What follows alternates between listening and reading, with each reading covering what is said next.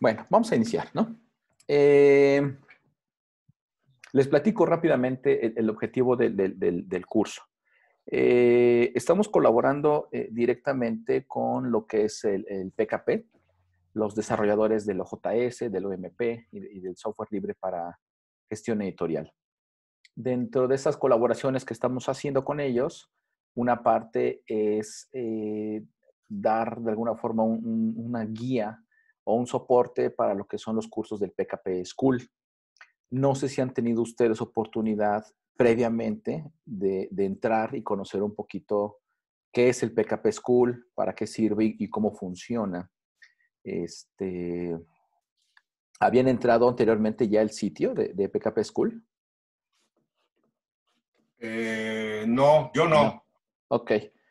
Bueno, no, yo tampoco. Tampoco. Ok, les, les, comento. El PKP School es, una, es, es, un, es un, sitio web este, en el cual van colgando materiales y la idea es que los usuarios de OJS, sean autores, editores, incluso revisores, puedan tomar un curso para hacer uso de la plataforma.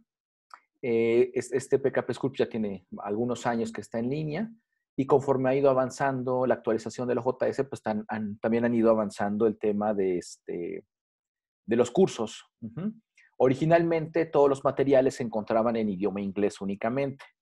El año pasado, me parece, un par de años, no, tengo bien la fecha, pero hubo una colaboración por parte de la UNAM para traducir algunos, este, dos, dos, dos este, algunos materiales de PKP School. Eh, son dos cursos que son los que este, estamos nosotros este, eh, ayudando a, este, a, tomarlos y bueno, pues con la intención de que ustedes, si al final desean certificarse o si es que ya lo decidieron eh, eh, actualmente, puedan ustedes recibir un certificado en el manejo de la plataforma, actualmente en, dos, en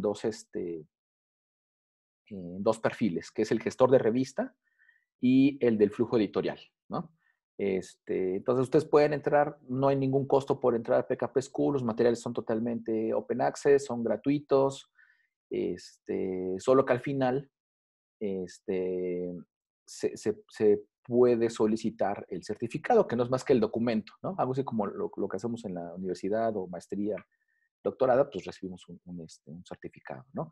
En este caso tiene un costo, es de 100 dólares, y el costo pues va directamente al proyecto de PKP School, ¿no? Este, donde empiezan, este, esos recursos van destinados a otras, otras cosas que, que es para volver a alimentar el, el, sitio, ¿no? O en sí el proyecto del PKP. Bien, nosotros en este momento somos únicamente facilitadores de, de, información. La idea es que, si bien es cierto que ustedes pueden tomar el curso en el momento que quieran, este, la idea es que nosotros podamos guiarlos a través de todo este curso para el caso de, gestión editorial o, de uso del JS son cinco, sesiones y, concluimos ese primer curso. El segundo curso, que es el de flujo editorial, son tres sesiones, en el cual vemos este, la aceptación del, manuscrito, este, la asignación de los revisores, hasta su publicación, pero no solo paramos ahí. Lo que, nuestra intención es transmitirle a ustedes un poco la experiencia que hemos tenido a lo largo de algunos años con el trabajo de diferentes revistas y este, quisiéramos compartirles un poco más de lo que ustedes pueden encontrar acá, ¿no? Este, también sabemos que de repente los cursos este, a distancia y con materiales en línea, pues de repente pudiera ser que nos cueste un poco de trabajo este, dedicarle el tiempo, no hay, no, hay, una persona en ese momento ¿no? que nos pudiera resolver alguna duda. Entonces es un poquito la intención de, de, de estas certificaciones que este, pueda yo acompañarlos durante estos cursos, resolver cualquier duda del material que está aquí, pero también de algo que ustedes este, tuvieron el día a día en, el uso del OJS. Este, y bueno, pues que ustedes realmente se vuelvan unos conocedores de la plataforma y puedan adoptarlo lo más pronto posible, ¿no?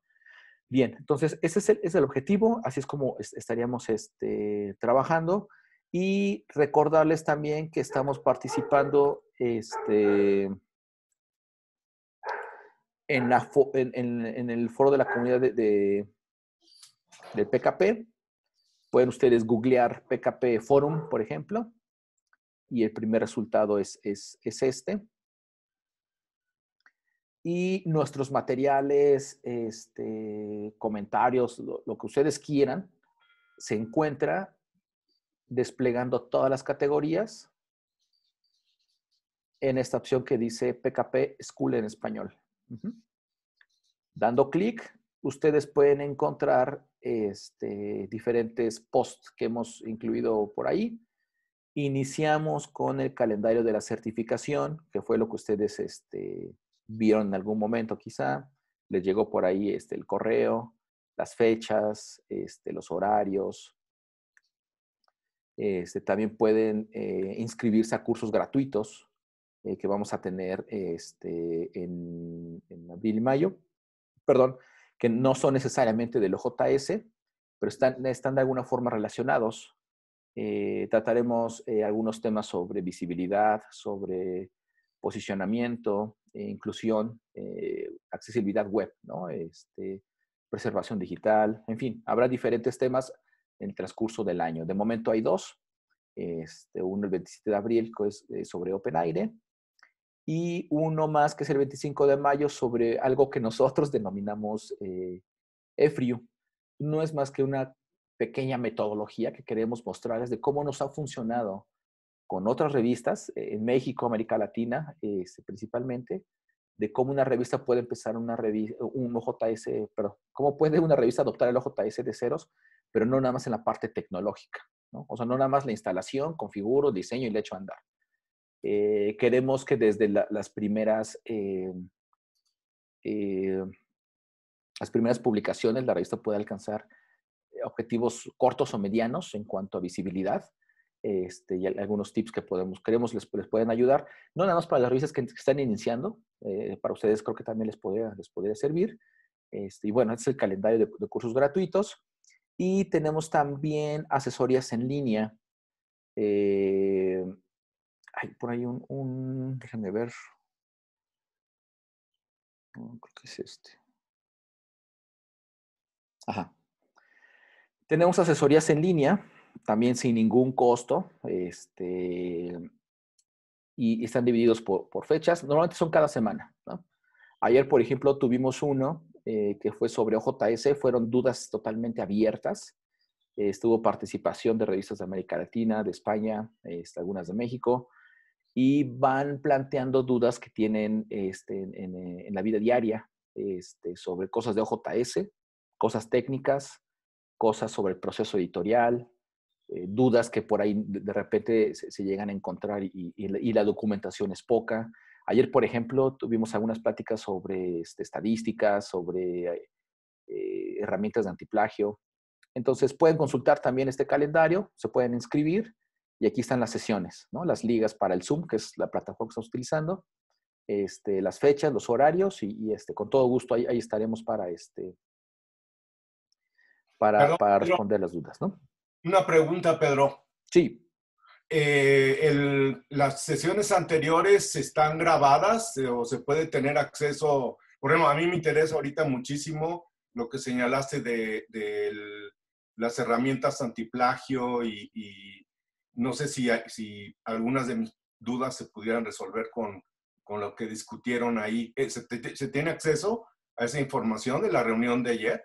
Sí, sí, sí. Este.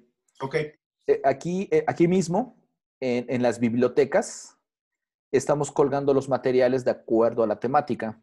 Ahí se busca la temática ya. Ajá, por ejemplo, ayer, que, que, no fue en un tema en particular, sino fue de muchas, muchos temas, los pusimos en asesorías, perdón, en conversaciones abiertas. Ok. Los damos clic y este es el video de ayer, del 9 de abril, sesiones abiertas y colocamos una pequeña descripción o algunos este, temas que vimos ayer, ¿no? Sobre Authenticate, Crossref, estadísticas OJS. Y, y, ahí está el video. El video es de YouTube, ¿no? Aquí no únicamente lo, trajimos, pero sí, son consultas libres, no tienen que registrarse, directamente pueden entrar y empezar a escuchar el, el, el, video. Es como de hora y media, ¿no? Pero este, sí, están son totalmente libres. Y en, en, el resto de las bibliotecas, eh, por ejemplo, este fue sobre, sobre temas editoriales que dio Araceli la semana pasada. Eh, buenas prácticas, este, sobre ética y buenas prácticas, este, pensando principalmente en, lo que COPE o COPE este, está, eh, propone. Este, se platicó y ahí está la sesión también. Entonces, eh, hay que estar revisando continuamente este, estas secciones para ir encontrando material. Eh, la sesión de hoy seguramente la tendremos también en línea en otra biblioteca que tenga que ver específicamente con los cursos. Este, podrán ustedes ahí este, volver a entrar, escuchar y, este, y es un material de apoyo, ¿no? Gracias. Sí, por nada. Bien, este, vamos a iniciar entonces. Bueno, esa era como la introducción de, lo que estamos trabajando actualmente con, este, con, con PKP. Y eh, vamos a entrar entonces eh, a lo que es nuestro, nuestro curso. ¿no? Bien, eh, les voy a pedir, por favor, todos tienen acceso en este momento a, al navegador, ¿cierto? A, una página web, a su, en su computadora. ¿Es, correcto? Sí. Correcto. Sí, así es. Muy bien, les voy a pedir, por favor, que, que en Google busquemos PKP School.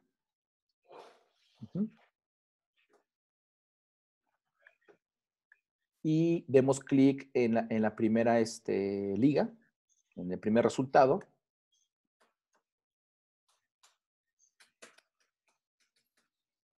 Y nos debe mostrar esta pantalla. listo. Bien, ahora, eh, lo, que, lo que vamos a hacer es, necesitamos registrarnos. ¿Por qué? Porque todas nuestras actividades tienen que eh, al final, eh, eh, el instructor, más bien el quien certifica del lado de PKP, necesita validar nuestras actividades. Este curso no solo es un webinar de dos horas por cinco veces y obtengo mi certificado. Necesitamos que ustedes adquieran el conocimiento de verdad. Necesitan demostrarlo. No es nada complicado, son cosas que, el OJS trae, este, pero necesitamos dejar evidencia esa evidencia necesita estar este, registrada para que al final nuestro documento, este, nuestra certificación, sea avalado por gente del PKP y no hay otra forma que revisar el OJS de cada uno de ustedes. Al final, cada uno de nosotros tendremos un OJS para probar, para estar ahí subiendo material. Ese será realmente eh, este, nuestro, nuestra carta para decir, quiero mi certificado, ¿no? Entonces vamos a registrarnos, por favor, en la parte superior izquierda. Tenemos el botón de registro.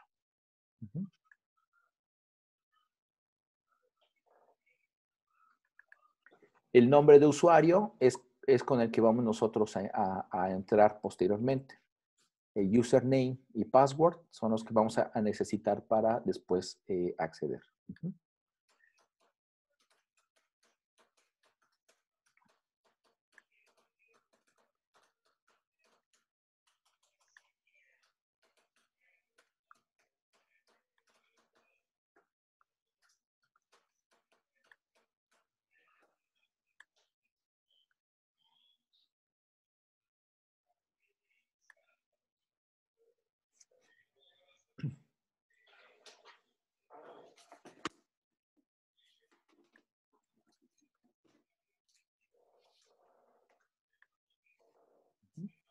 Son pocos campos, realmente nos pide el nombre, a qué institución pertenecemos, un correo de contacto, el usuario y la contraseña.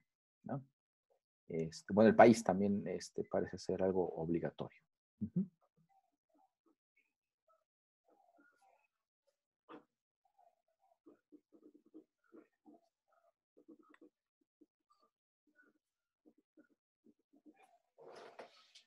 Listo. Muy bien damos clic entonces en este en completar el registro.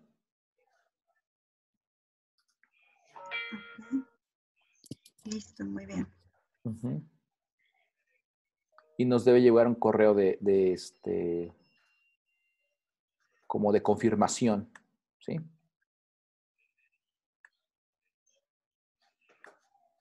Podemos revisar el, correo que ustedes colocaron y activar la cuenta, por favor.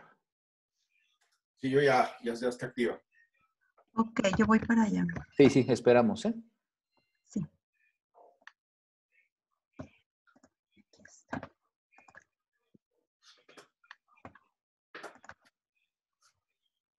Listo nos manda como una llave, ¿no? De muchas letras y números y damos clic en activar nada más. Sí. Y ya, nos dice que, este, que la cuenta está activa.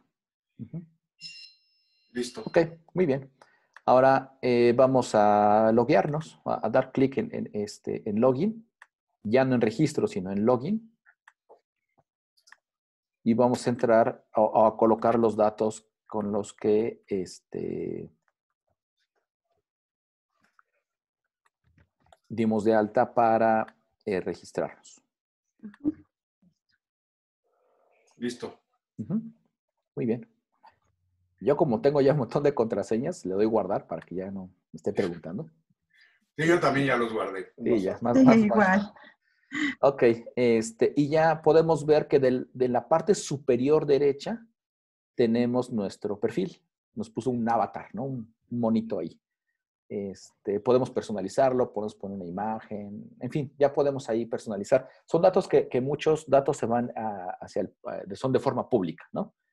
Este, a lo mejor algunos intereses que, que- que- en las cuales estamos enfocados, en qué estamos trabajando, etcétera, ¿no? Pero para efectos del curso, con esto es suficiente.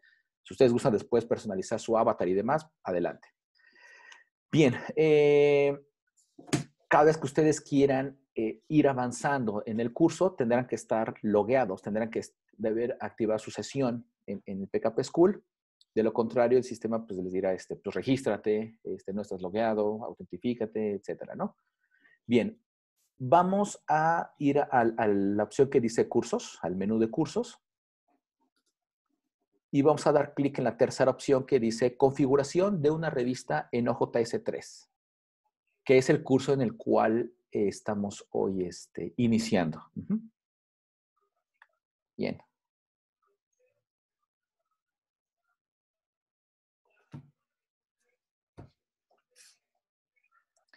Y vemos esta pantalla en donde nos dice este,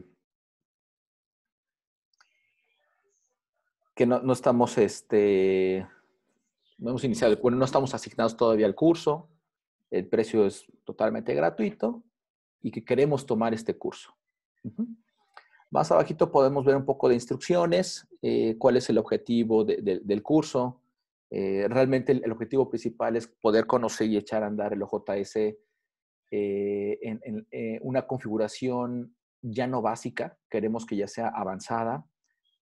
Ustedes conocen el OJS, tiene muchas opciones. Conocemos, creo que normalmente se conocen las más básicas sobre el equipo editorial, los datos de contacto, pero tiene más, tiene muchas más herramientas que nos pueden ayudar a nosotros o a la revista. Cómo indexarlo a través de Google, por ejemplo, este, algunas herramientas o algunos plugins que trae el OJS, cómo funcionan, cómo le podemos sacar provecho. Todo esto lo podremos aprender en este, en este curso. ¿no? Este, ustedes verán que este curso comprende, me parece que son de 10 o 12 módulos. Este, y tenemos que ir completando uno por uno, uno por uno, para llegar este, al final, que son, ajá, 12. Ay, no, son 10, 6 y la evaluación. Bueno, algunos son muy cortitos, ¿sí? No todos los módulos son extensos. Cada módulo es, eh, nos presentan un video. Hay que entender el video, qué es lo que se hace, aplicar lo que nos pide el video y después nos pide dejar un comentario. Algo importante que deben saber es que para obtener el certificado es completar el curso, obviamente, pero nos piden un, mínimo de comentarios a través del curso, ¿sí? ¿Por qué nos piden comentarios? ¿Por qué nos piden estar comentando algo? En primera, para poder interactuar con, con, con demás este, colegas, ¿no? En segunda, a PKP le sirve esos comentarios para poder mejorar el OJS. Ujú. Ellos, eh, dentro de su dinámica que tienen para poder mejorar la experiencia, la funcionalidad, el diseño, la operación del OJS, necesita retroalimentación. A veces sacan webinars ellos, en donde dicen, a ver, te voy a lanzar el OJS 4, por decir algo, este, pruébalo unas horas y me dices qué te pareció. Pues ya lo probamos y mandamos comentarios. No, es que los colores, que ya me confundí. Pues eso, eso les ayuda a ustedes, bueno, a ellos más bien para, para mejorar la versión. Esos comentarios también, ellos esperan que les digamos, ¿qué te pareció? ¿Te fue fácil? ¿Qué le quitarías? ¿Qué le pondrías? Entonces hay que comentar, ¿no? Pues me pareció muy fácil, pero el botón no lo encontré. de cómo guardar, este, se me hizo difícil. Entonces, por, eso ellos piden que estemos comentando este, la mayor cantidad posible. Hay un límite. Me parece que son 10 comentarios de todo el curso, o sea, de todos los 16 módulos, al menos debemos dejar 10 comentarios. Eso también lo revisan ellos. Si no tenemos los 10 comentarios, nos van a decir, oye, para poder certificarte te hacen falta 3 comentarios, ¿no? Este, métete a un módulo y deja un comentario. Ok.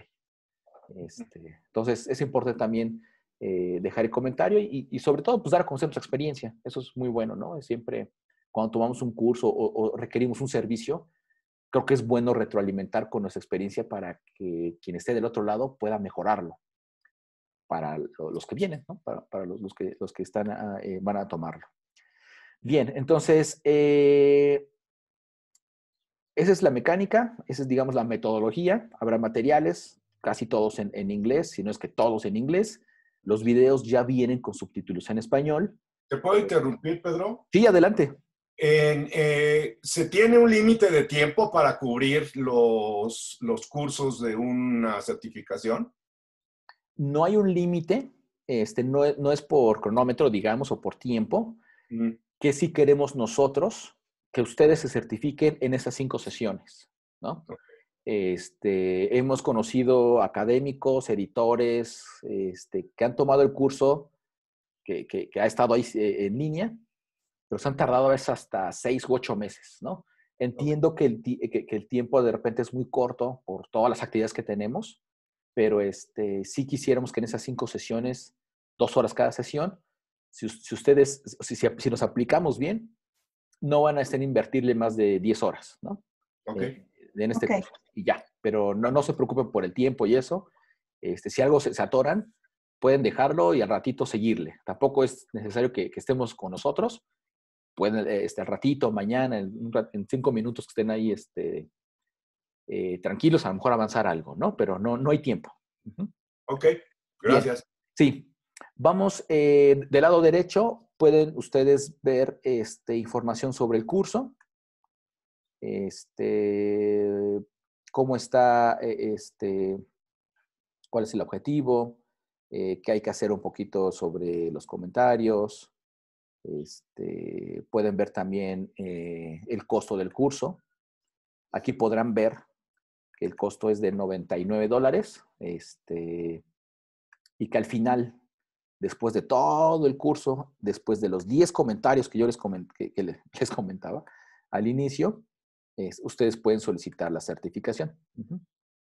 este, el instructor del curso en línea es este Kevin Kevin Strachnak.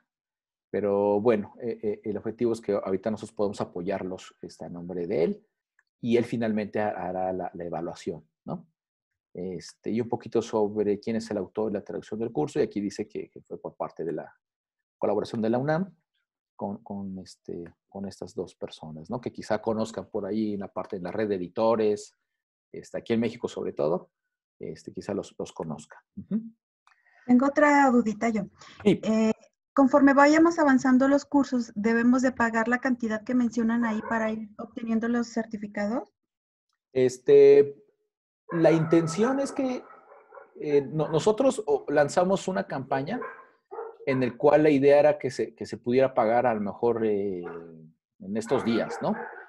No por, no por temas este, realmente comerciales, sino cuestiones administrativas este, con PKP eh, tenemos un, acuerdo en el cual administrativamente deberíamos cubrir este, eh, los cursos o, que diéramos a conocer a ellos cuántas personas iban a tomar la certificación hasta una, eh, creo que era el 25 de abril, 30 de abril, ¿no? Pero realmente no, no hay que cubrirlo de forma inmediata. Este, al final es decisión de, de ustedes, ¿no? Este, pueden tomar el curso, este, y pagar al, final, ¿no? Que es lo que, es lo, que es lo que ellos piden este, aquí, ¿no? Entonces, el curso dijimos que es de 16 módulos y, es, y paga una sola emisión para tener la, el certificado de este, de este curso, ¿verdad? Ajá, acabaremos los 16 módulos en cinco sesiones y al final, este, para solicitar el documento, el certificado, se, puede hacer el trámite de pago y ya este, se, hace llegar el certificado digital. Ok, que en este caso son los 99 dólares. Ajá, exacto. Ok, muchas gracias. Sí.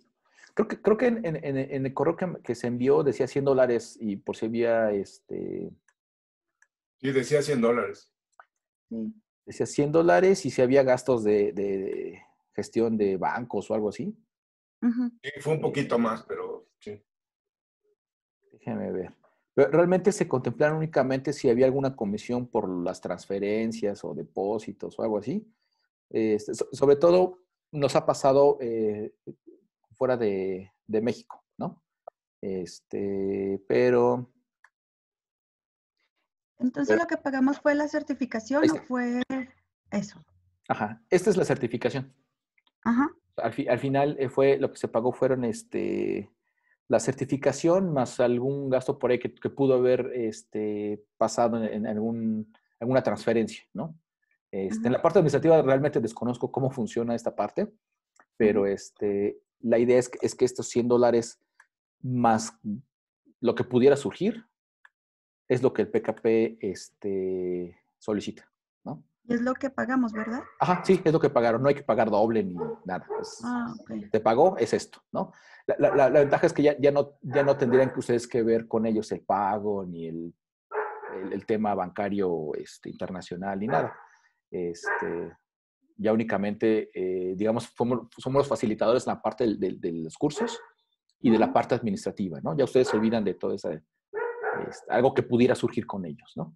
Pero son, son estos. Quien certifica es PKP, ¿verdad? Es correcto, sí, ellos certifican. El certificado viene incluso con la firma de, Kevin Straknak, que es el director asociado del PKP, del proyecto. Este, todos, todos del PKP, las certificaciones del PKP. Ok, excelente, gracias. Sí, por nada. Bien, este, bueno, me, salió un poquito de, con estos enlaces. Voy a regresar a cursos, configuración de una revista en OJS3 y vamos a tomar el curso. Take this course, ¿ok? Hasta vamos a practicar el inglés, por cierto. Ok. Bien. Y aquí es donde iremos eh, o podremos ver nuestra, eh, nuestro avance. En este momento tenemos 0 de 41 este, actividades. Este, un poco lejos, pero avanzaremos muy rápido. Cada vez que avancemos con cada módulo, esta barrita irá avanzando en color verde hasta llegar al 100% y 41 de 41. Bien. Vamos a empezar con el módulo 1. Todos estamos en esta parte. Pues no que estaba en inglés. No, e, e, estos dos cursos ya están en español. Recuerden que, ya la UNAM apoyó hacer estos cursos en, español. Lo que sí está en inglés son los materiales. El video, las lecturas sí están en inglés. Suave. Ok. Entonces, eh, vamos a empezar con el módulo 1.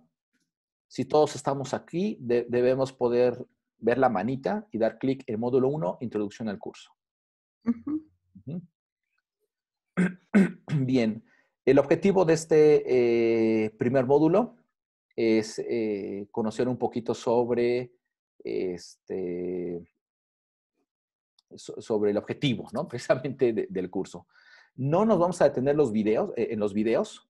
podemos leer, este, darle sea play y escuchar un poquito pero el objetivo del curso no, es estar viendo videos este, entre nosotros, ¿no? Este, sí nos vamos a detener un poquito en, en las actividades que nos están dejando en, en, cada uno de los módulos y la idea es si pudiéramos platicar un poquito la experiencia entre nosotros, eso ayudaría a todos los que están conectados y a los que pudieran ver el material posteriormente, ¿no?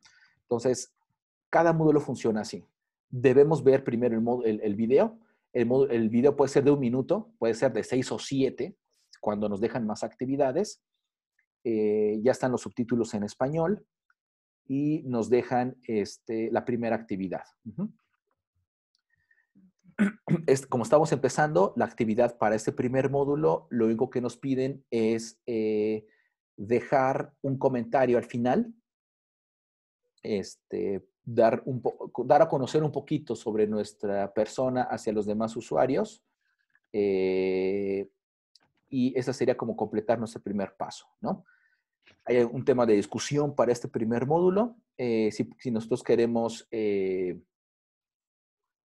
comentar algo adicional o crear algún tema, algún, no debate, pero sí este, retroalimentar un poquito más sobre este primer módulo, debemos ir hasta abajo de la página y escribir nuestro comentario. Cuando nosotros hayamos visto el video, leído los documentos o el material que nos dejaron, completado la actividad y haber dejado nuestro comentario, esas cuatro actividades en cada módulo, debemos nosotros dar clic en marcar completado. Si nosotros no damos marcar completado, ese módulo quedará como si no lo hubiera yo tomado. Entonces, esta primer eh, actividad es únicamente dar a conocer quién soy, qué cargo tengo, si, estoy en una revista, si soy el editor, si soy este, el director, si soy un autor, quizá, o este, no sé, ¿no? Y escribir un poquito sobre qué esperaría yo de este curso. ¿Dónde dejo mis comentarios? En todos los módulos funciona de la misma forma. Nos vamos hasta la parte inferior, hasta abajo, hasta abajo, hasta abajo. Estos son todos los comentarios de todas las personas que han tomado el curso. Verán las fechas, son recientes, son de abril, son de marzo del 2020, pero también van a encontrar ya comentarios del año pasado, noviembre del 2019.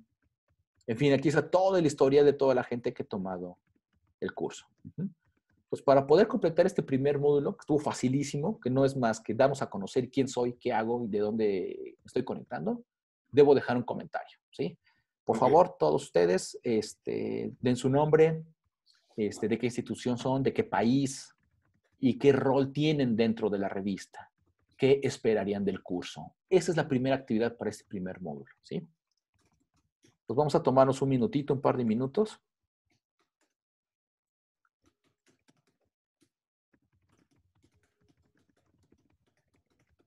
Este, y em, algo que ustedes quieran dar a conocer al resto, ¿no? que los va a leer.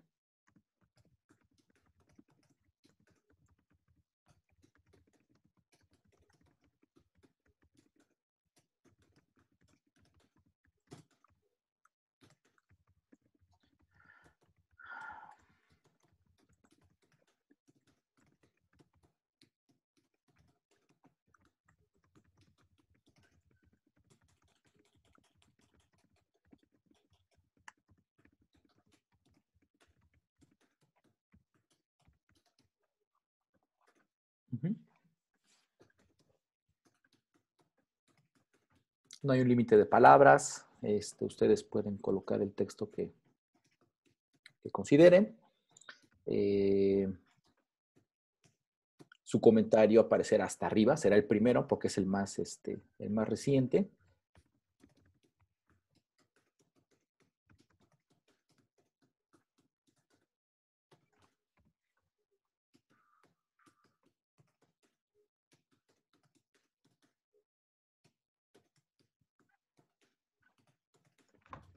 También podemos apoyar a la comunidad respondiendo preguntas que hacen en estos comentarios. Conforme ustedes avancen, verán que hay, personas que de repente preguntan, me perdí en el video, no encuentro dónde está la opción para agregar la política de privacidad. Este, deberemos poder ayudarlo contestándole, ah, mira, entras al OJS, ajustes, páginas, darle como la ruta, ahí encontrarás la opción, ¿no? También cuenta como un comentario. Entonces dijimos que vamos a hacer los videos. Vamos a ver los videos, las actividades. Eran cuatro cosas, ¿verdad? Ajá, es ver el video, este, leer las, eh, los documentos que nos puedan compartir, eh, dejar un comentario y este, marcar como completo.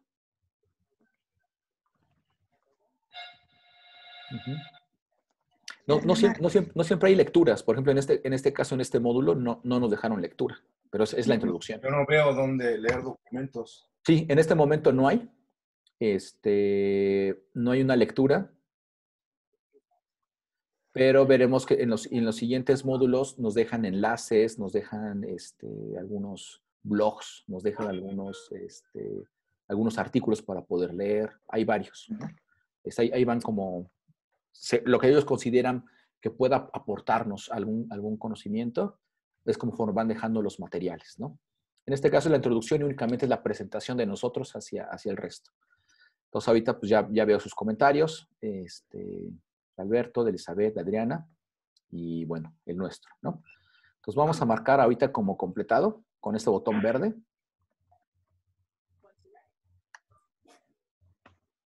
La que habla en, en, el... ¿Quién dijo que era?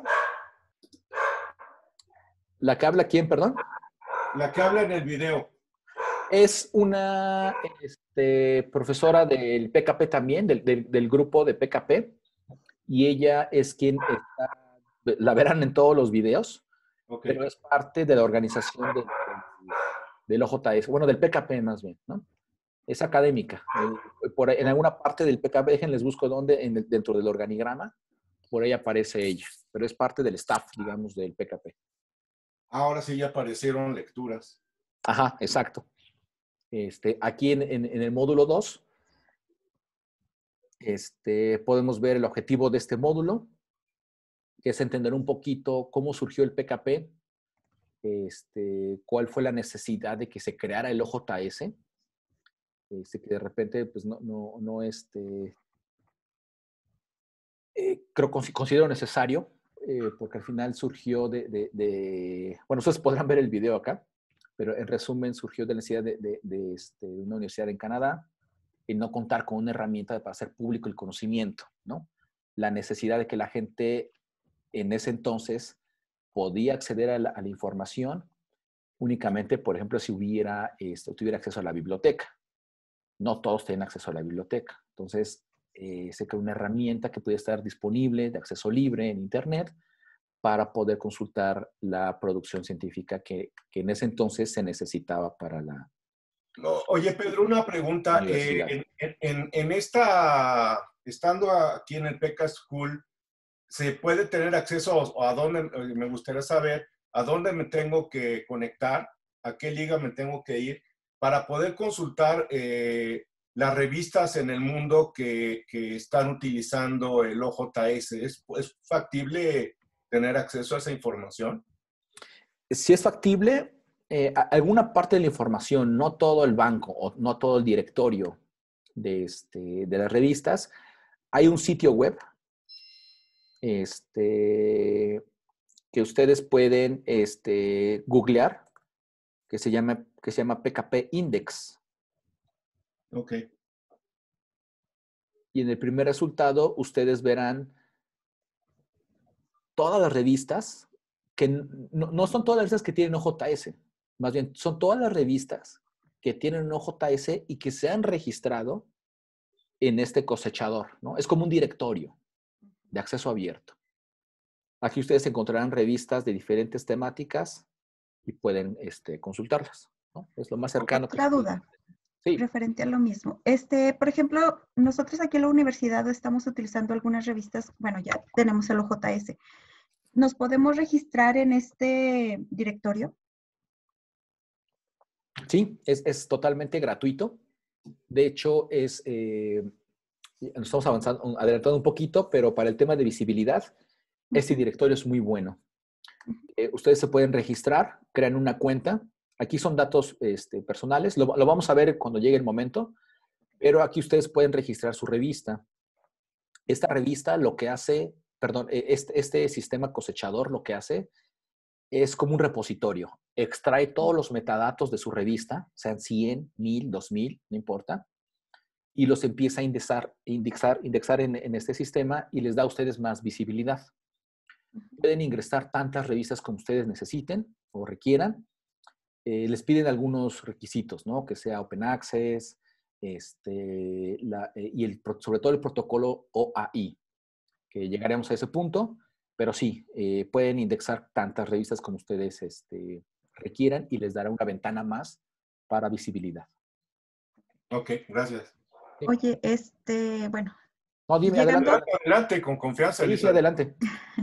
Aquí en el módulo 2, sin querer, le volví a dar en el Mark Complete y no lo completé. ¿Qué podemos hacer ahí?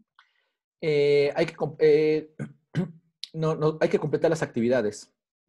Aunque eh, diga que ya lo completé, sin hacer nada. No, ¿dónde te quedaste en?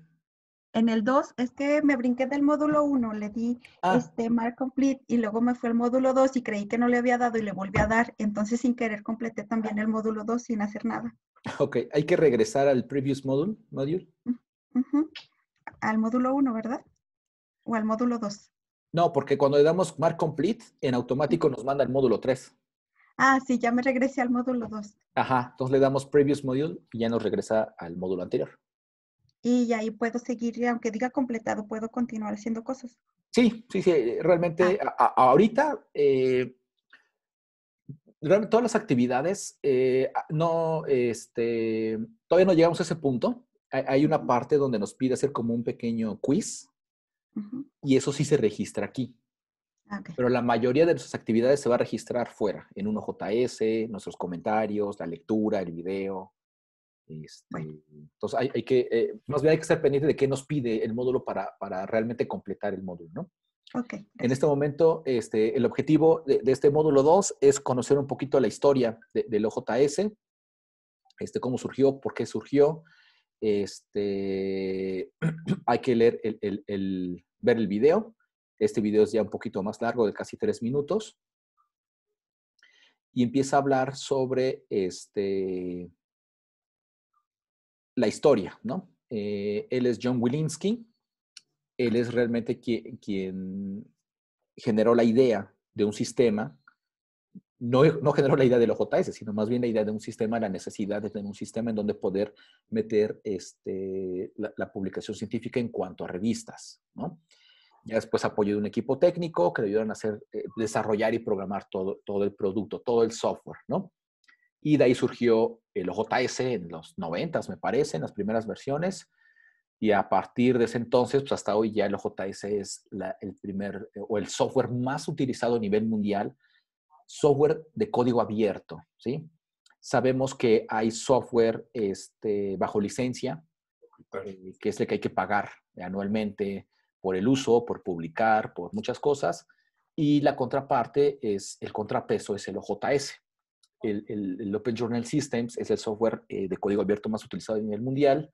Eh, no tiene licencia, se puede utilizar y está en constante mejora, ¿no? Hoy en día no solo el OJS forma parte del PKP, sino otro software para las monografías, que, es el UMP, este, para gestionar conferencias, que es el Conference Systems, en fin. Y no sé si han escuchado últimamente en la red de Cielo, pero Cielo ya lanzó un nuevo producto con PKP, que es el, software para preprints. Ahora hay un software parecido. ¿Perdón? Es como el archive, el, archive de, física.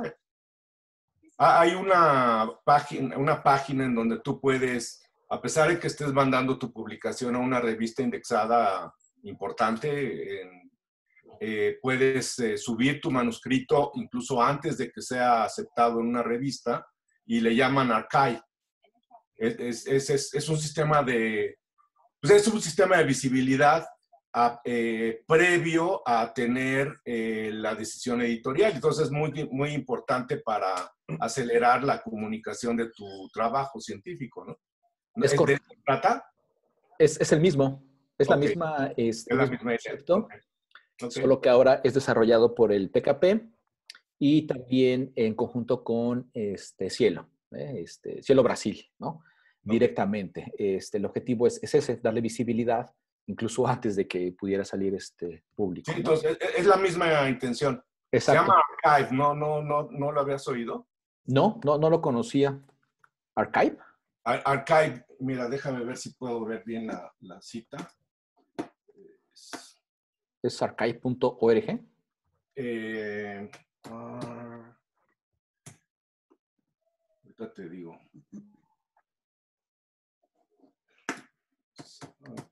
Archive.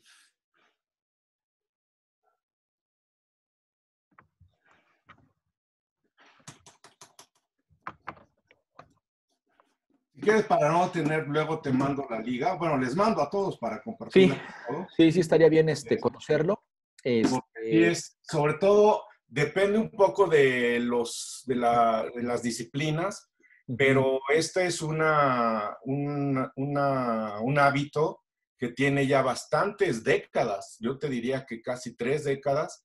Eh, nació en el mundo de la física de altas energías y eh, de ahí se fue moviendo a otras disciplinas de la física eh, y apenas más recientemente ya empezó a, volverse más común en otras áreas como química, biología, pero es, es muy útil, o sea, prácticamente es, eh, ahí tú pones, te adelantas a la publicación de la, del trabajo, ya con la velocidad de los medios electrónicos contemporáneos, te adelantas cuando menos unos tres o cuatro meses y hace 15 años te estabas adelantando a lo mejor medio año a la publicación. Y eso para justamente la visibilidad y la, y la, la, distribución, el, facilitar la, la, diseminación de tu trabajo, pues es muy importante, ¿no? Archive, Ahorita, ahorita te mando la liga en un rato. Claro, gracias. Tengo una duda. ¿Esta práctica no afecta nada con las publicaciones? Por ejemplo, si tú luego enviaste una revista y dices que es este novedoso y eso no te afecta nada. Bueno, así sí tiene ahí un. De hecho, cuando tú eh, haces una, contribución al archive, tienes que aceptar una serie de términos eh, que fija los que establecieron la página en donde, por ejemplo, tú no, no necesariamente el documento que termina publicado en una revista con factor de impacto, con que esté en el Journal of Citation Reports, etcétera, no necesariamente va a coincidir con tu documento. Entonces, ahí hay una cuestión de copyrights importantes que tú tienes que reconocer y aceptar. Si no los aceptas o no los quieres reconocer, entonces acá no te va a dejar subir las publicaciones. Sí, sí tiene, Elizabeth, sí tiene una, una serie de implicaciones importantes y sí hay una, un issue que a mí, por ejemplo, no me gusta mucho, es precisamente ese, el que tú puedes dejar depositado un documento eh, que no necesariamente va a corresponder al que finalmente es publicado en una revista, en una revista indexada. Pero sí, sí hay issues, hay issues importantes, pero de cualquier manera, a mí me parece muy importante nosotros así nos enteramos con, del trabajo de colegas. Obviamente, eh, tú puedes también eh, eh, pedir, hay sistemas de alerta, entonces tú puedes recibir información. en el momento en que alguien sube un documento, de inmediato recibes una alerta de, de Juan Pitas, bueno, ahora, que está de modo, Hugo López Gatel acaba de publicar un, un artículo, ¿no? Y entonces ya inmediato, en vivo, o sea, en el, casi instantáneo. Entonces sí tiene, para efectos de, estar informado en tu campo, es muy, muy valioso. Claro. Sí, este, ese proyecto todavía se encuentra a, nivel software, el, de PKP, el Open Preprint Systems, todavía se encuentra en una fase, en una fase beta. todavía está, está desarrollando muchas sería Bueno, sería bueno que nosotros lo, lo promoviéramos también en nuestras revistas. ¿ok? Este, sí, este, yo, yo creo que la intención este, en algún momento será poder este, pues, adecuarlo, se puede interactuar con el OJS, ¿no? Claro, sí, sí. Ok. Una vez que pase por todo el proceso de, preprint, no sé, eh, bajo qué esquema y políticas, pues que ya se pueda tomar y se vaya a X revista, ¿no? Y ya de ahí seguir el proceso que, que, todos conocemos, ¿no? ¿Ustedes están participando en el proceso de, de desarrollo de la, de la aplicación? Eh, Ustedes como compañía, como... Ajá, no, para preprints no. Sí estamos desarrollando el tema de preservación digital en OJS con este, Arquimática. Este, es un software libre también y la idea es que todo lo que se publique en la revista se pueda preservar. En ese proyecto sí, eh, aquí no, aquí es otro, otro desarrollador. Ok. Muy bien. Bueno, este, regresando al módulo 2, eh, el video es un poquito sobre el tema de, la historia. Perdón, me, salté, acabo de revisar el chat y veo por ahí a Alfredo Meneses, sobre todo un, tema con su registro. Este, eh, Alfredo, si, gustas, después de la sesión de las dos horas, con, todo gusto me puedo quedar unos minutos más. revisamos el tema de tu registro en el PKP School para que este, en la siguiente sesión podamos avanzar todos este, en conjunto. ¿no? Este, perdona que apenas haya visto tu, tu, chat. Bien, perdón, un pequeño paréntesis. Este, entonces, eh, hay, que ver el video. Les pido leer el video ya quizá con un poquito más, más de calma para no, no consumir el tiempo del curso en videos.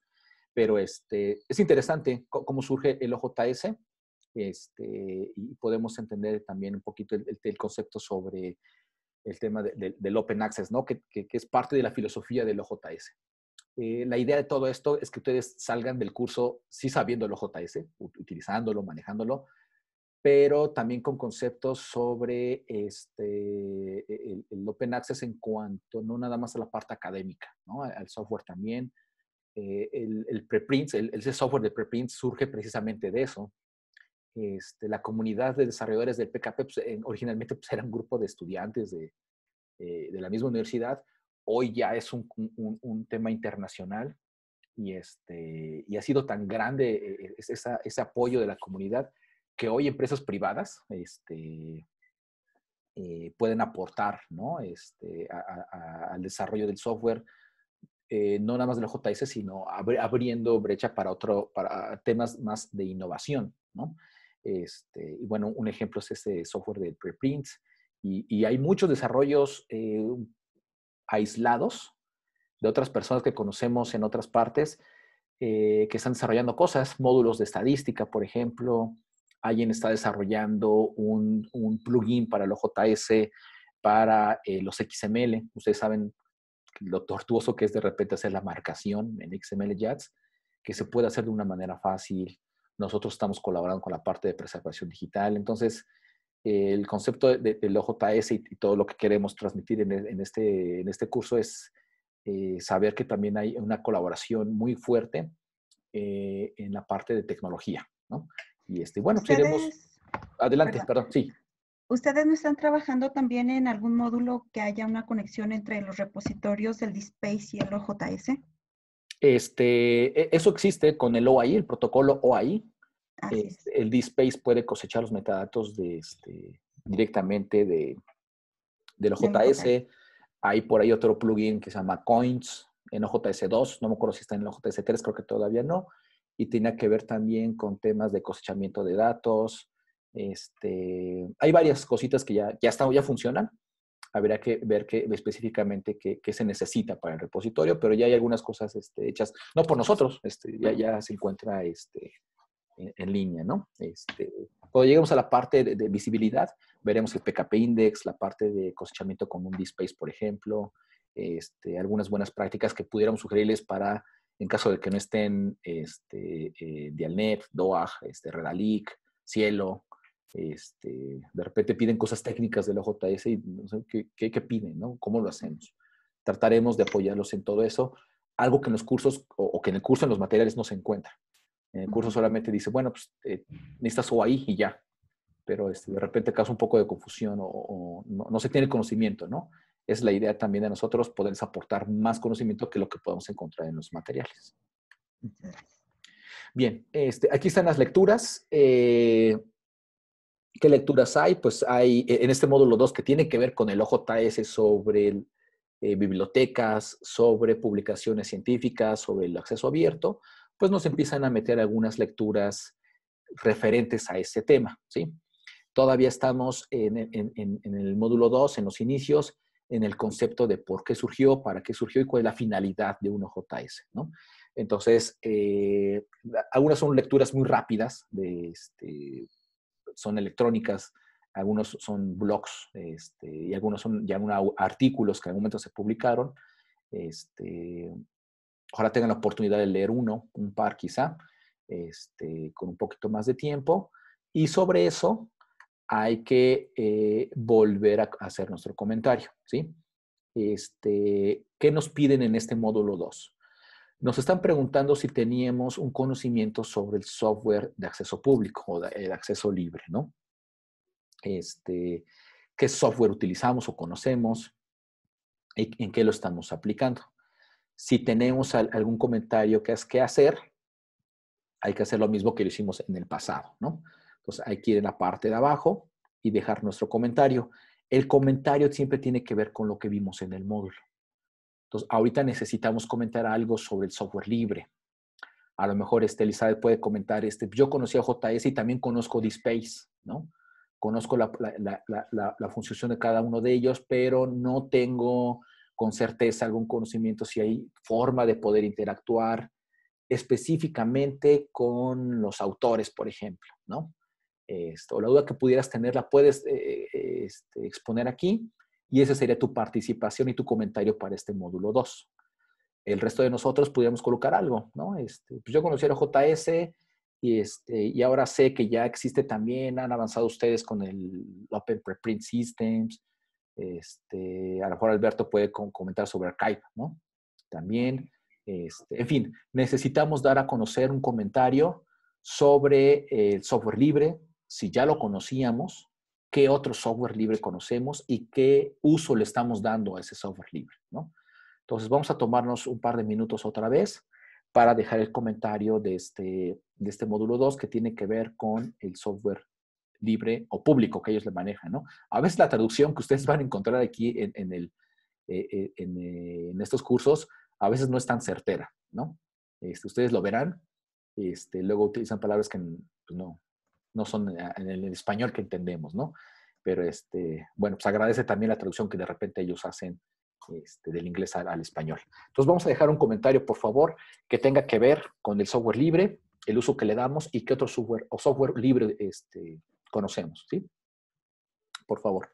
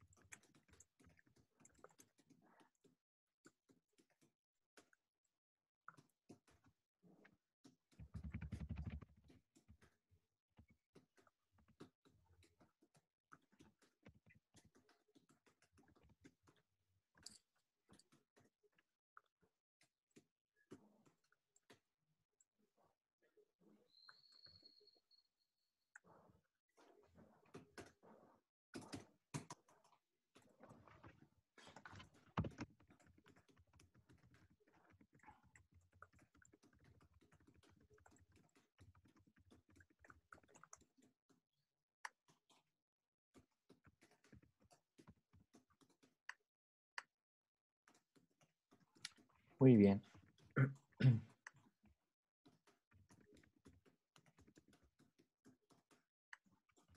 Si me confirman, por favor, cuando termine, para, este, para avanzar.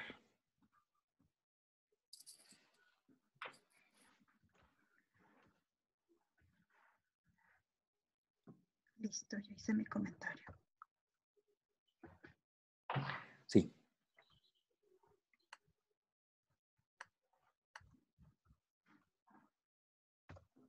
Gracias, Adriana, por el comentario. Este, ya está ahí. Ya nada más a rato veríamos con, con Alfredo para que se pueda poner también al, al corriente. Muy bien. Bueno, este, hemos eh, visto el video, platicamos un poquito sobre el software libre, surgieron otros temas. Este, pueden darle una leída a los, a, las, a los materiales que nos colocan por, por aquí. Eh, aquí está el, uso del PKP Index, ¿no? que mostraba hace unos minutos. Una lista de revistas de OJS de todo el mundo, este, que es open source. Eh, y cómo surgió también el tema de, eh, del código abierto por Richard Stallman, ¿no? Este, y de ahí pues, muchas ideas sobre Unix, Linux, eh, en fin, eh, realmente e, es muy interesante. Pudiera resultar a veces un poco tedioso por lo tecnológico que pudiera resultar, pero fuera de eso, este, el, concepto de poder tomar un software, poder estudiarlo, este, adaptarlo y compartirlo, cumpliría las, cuatro leyes o, propuestas que, que, un software libre debe tener, ¿no? Y el OJS es eso. Tú lo puedes descargar, lo puedes mejorar y lo puedes compartir. No pasa nada. Es, lo que se espera, de hecho, ¿no? Que el software pueda ser mejor. Este, sin costo. Sin costo, ¿no? Este, obviamente también el PKP pues, no, no te paga, ¿no? Porque todos estamos en la misma línea de entendimiento de una colaboración y del código abierto. Entonces, este, es algo muy, muy, muy bueno. han surgido plugins, herramientas muy, muy padres, muy, muy provechosas que, las revistas han podido aprovechar este, y otros proyectos. Entonces, eh, de, ahí surge todo eso a partir de, de, como de la misma, este, no sé si, si, llamarlo piedra angular del OJS, de, poder colaborar y dar a conocer este, la ciencia de, forma gratuita sin ningún costo, ¿no? Y de ahí pues, todo el concepto que, que, ha pasado durante varios años, que es el, open source, este, y diferente gente que, que involucran en, este, en esta filosofía, a lo que hoy conocemos, dar a conocer, comparte, este, este, mejor el software, ¿no? Bien, entonces eh, ya leímos, vimos el video, platicamos un poquito, discutimos un poquito, platicamos, más que discusión, lo platicamos. Vamos a completar este curso, otra vez en Mark Complete, en el botón verde. Ya llevamos dos comentarios de 10 que nos pide el PKP para este, la certificación. Este, en la parte superior derecha podemos ver que ya llevamos un 4% y ya llevamos dos pasos de 41. Ahí, ahí, vamos. Bien, vamos al módulo 3. Ahora sí ya vamos a entrar con un poquito sobre eh, la interfaz del lector. ¿Cuál es la interfaz del lector? Es el OJS, como lo conocemos por fuera, ¿no? Bien, este módulo o este video nos explica un poquito sobre cómo funciona qué hay en la interfaz del lector, qué es el OJS, ¿no? También hay una guía del PKP. Este, necesitamos reproducir el video. Son cuatro minutos y medio. Este, y nos habla sobre eh, la arquitectura y el diseño del OJS, cómo está pensado, cómo se llaman las diferentes secciones o apartados de la plataforma, qué podemos encontrar en cada una de ellas, este, pero, pero hasta ahí, ¿no? Entonces voy a adelantar un poquito el video y, veremos que la persona eh, que nos está este, guiando en el video nos dice las funciones básicas que un JS3 trae por defecto, ¿no? Este, qué mejoras pusieron, este, dónde podemos localizar ciertas, ciertas cosas, ¿no? Entonces, les voy a dejar de tarea a ustedes que vean el video. Yo les voy a explicar este, un poquito más sobre esto. Eh, ustedes pueden entrar a un OJS demo en todo momento. Este OJS demo es totalmente independiente del OJS que, el PKP nos va a dar para hacer los ejercicios. ¿eh? Este, este OJS demo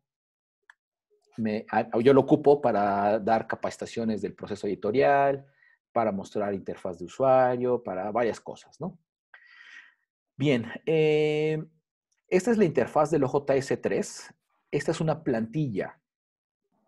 Eh, déjenme explicarles un poquito. Voy, voy, a, entrar yo a este OJS demo y trataré de restablecerlo como normalmente pudiéramos verlo todos nosotros e incluso como se ve en el video. Para poder entrar yo a un demo, nada más le doy en Google y ya me permite. ¿O cómo eh, algo así. yo, lo, yo, lo, que le puse es OJS3. Bueno, OJS, demo, ¿no? La primera liga es donde me manda al, al demo. Bueno, al OJ, sí, ¿dónde está el demo? Ok. Clic. Y lo que ustedes deben hacer es entrar. Hay, hay dos demos. El OJS demo y el test drive. El test drive es el que eh, pueden ustedes incluso utilizarlo para hacer ejercicios del proceso editorial. No suban aquí eh, materiales reales o artículos de verdad. Este, en primera porque pues, eh, creo que no, no está, no está bien, ¿no? en segunda es porque ellos borran, creo que diario, en una determinada hora del día, borran todo lo que se hace y restablecen eh, los ejercicios que están como por defecto. Entonces, este, si ustedes hoy hacen un ejercicio, puede ser que mañana ya no esté. Y esto es porque funciona precisamente para hacer pruebas. Entonces, todo lo que vayamos haciendo se puede ir borrando, creo que es de forma diaria. Entonces, este, pues no colocar información este, que ustedes están trabajando al día, más bien es para pruebas, ¿no? Lo que sí nos dice es que si tú vas a entrar a la versión 3 o 2, debes entrar con el usuario admin y el password test drive. Esos son los datos que todo el mundo conoce para entrar al demo de OJS3. Entonces damos clic en OJS3 y le doy login. Aquí coloco admin y aquí test drive. le doy login y ya puedo entrar al OJS3. Ahora, tengan en cuenta también que el OJS que está aquí siempre, siempre, siempre será la última versión que el PKP ofrece. En este momento eh, podemos ver algo diferente al OJS3 que quizá nosotros tenemos en nuestra revista. Esto es porque este OJS3 que está aquí es la versión 3.2.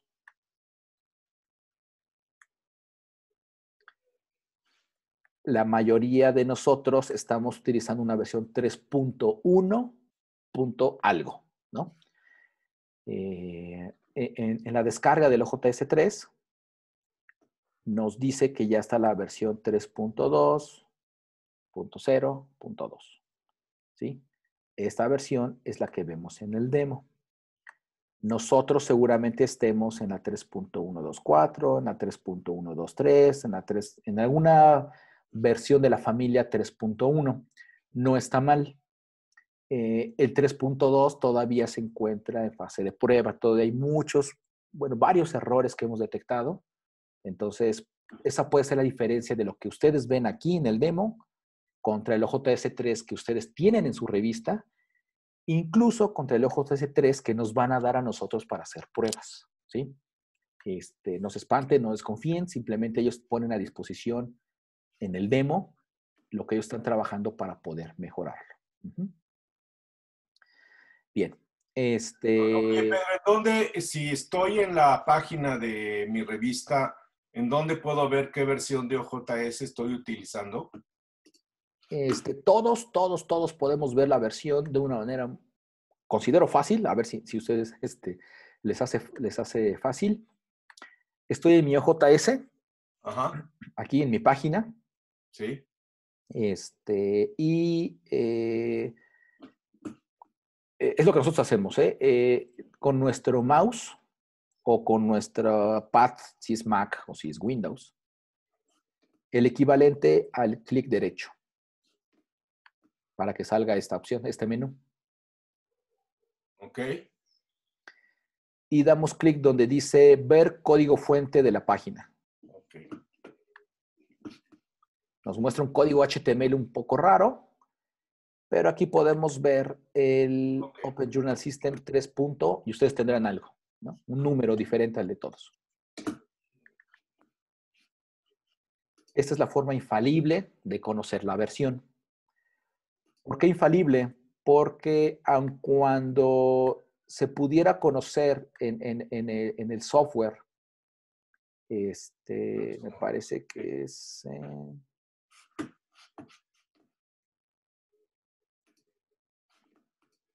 Sí, ya, sí, me funciona perfecto, ¿eh? Sí, es, que a veces este, también, eh, aquí por ejemplo, luego lo deshabilitan, luego no se ve en la parte interna.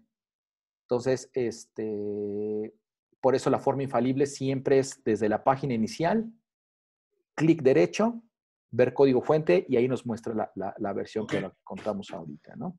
En mi caso tengo el 3.02 porque lo instalamos ya hace tiempo. Este, ¿Hay alguna repercusión si, ah, bueno, muchos cambios entre el 3.1 y el 3.0? Este sí. Este. Eh, se quería probar lo que nos mandaba este Adri en el chat, que era Settings y Journal. Nada más que creo que deshabilitaron aquí la opción. Este, sí, sí hay mucha diferencia en, muchas cosas. Ustedes se encuentran en la 302, ¿no? Creo. Sí. Bueno. Eh, de, así rápidamente, nos estamos perdiendo de temas de seguridad, este, temas de funcionamiento, este, plugins. Por ejemplo, hay un plugin eh, que se llama Paper Boss, que tiene que ver con estadísticas y el DOI. Ese plugin, por ejemplo, solo funciona a partir de la 3.1, me parece. Entonces, ustedes no pudieron utilizar ese plugin por esa versión. Este, lo que yo eh, más veo que, que, pudiera, este, el tema de las versiones es el tema de la seguridad. Suelen encontrar este, no quiero sonar eh, alarmante, pero suelen encontrar hoyos de seguridad en las versiones y conforme van avanzando van este, reparando eso. Este, principalmente, principalmente eso y la funcionalidad. en, la, familia de 3.0 todavía había muchos detalles en cuanto a metadatos, función, de algunas herramientas, este, no, tenían, había que estar subsanando, metiendo parches para poder este, funcionar y de ahí brincaron al 3.1 y así han ido avanzando, ¿no? Este, entonces, eh, principalmente son esas dos cosas, la seguridad y, errores que se pudieran encontrar en las primeras versiones del 3, que es, que es la familia del 3.0. ¿Se puede migrar y cómo se haría? Sí se puede, eh, se hace una actualización, este, se hace una actualización y habría que planear la actualización. Planear en el sentido, perdón, de poner fuera de línea el sitio, hacer un respaldo previo de todo el software que se tenga hasta ese momento, este, e ir avanzando. Nosotros sugerimos ir avanzando de versión en versión. ¿Por qué? Porque si nosotros brincamos de la 3.0 hacia la 3.2, por ejemplo, durante esta, esta brecha, de forma interna, de forma eh, código, la estructura va cambiando. En, esos cambios necesitamos no perder la información, que lo que llamamos la integridad de los datos. Si nosotros vamos avanzando de uno en uno, vamos haciendo ese amarre, ese amarre, ese amarre, vamos asegurando que esa integridad se vaya manteniendo. Es un poco laborioso y más tardado, pero es más, pudiera resultar más seguro, ¿no? Entonces, eh, eh, ¿cómo, se, ¿cómo, se, haría? Se haría este, eh, haciendo una planeación con el equipo técnico. Sugerimos que sea de paso de uno en uno y siempre siguiendo lo que el PKP nos dicta para cuando hacemos este,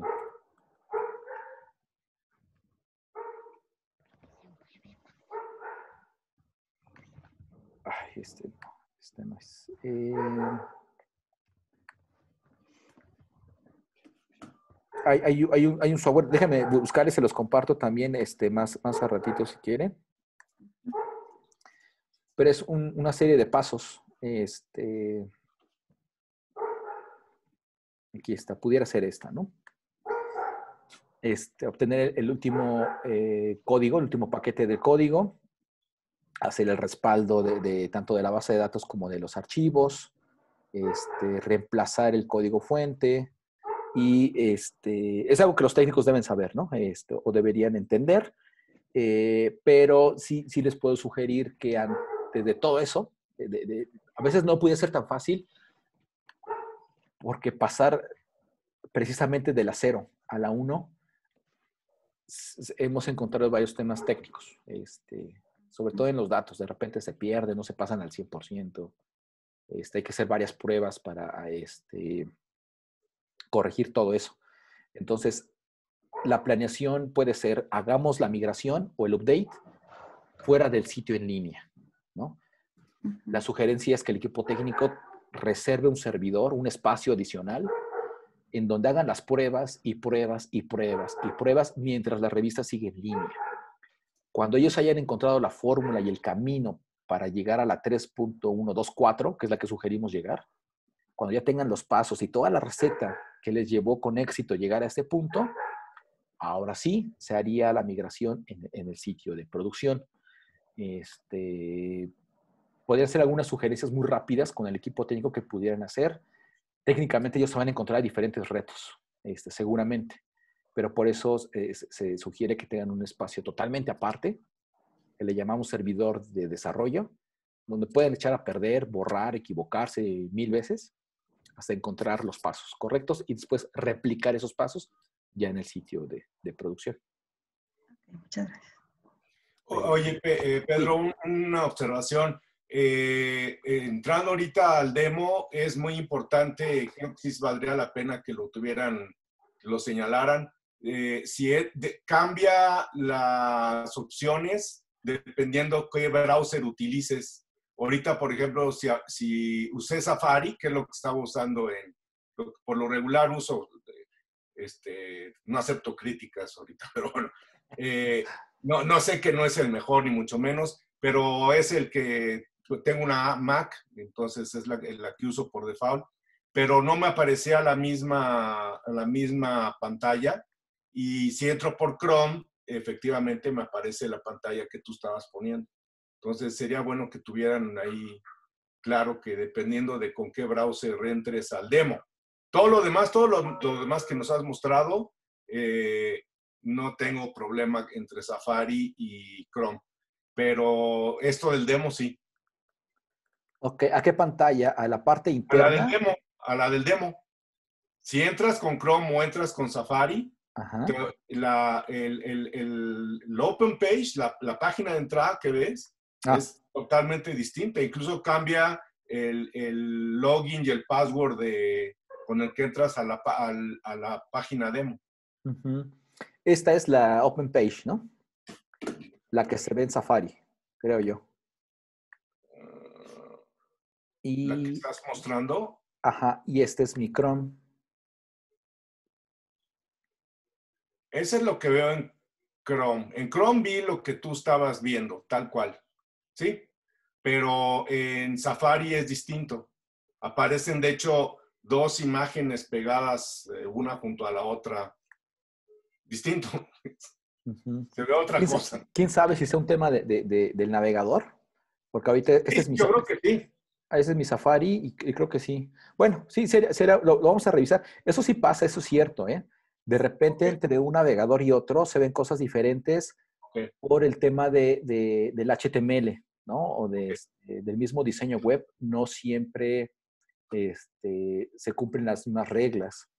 Este, un, Mozilla, un Internet, bueno, ya olvidemos el Internet Explorer, ¿no? Pero este, el Opera también ve diferentes este, cosas.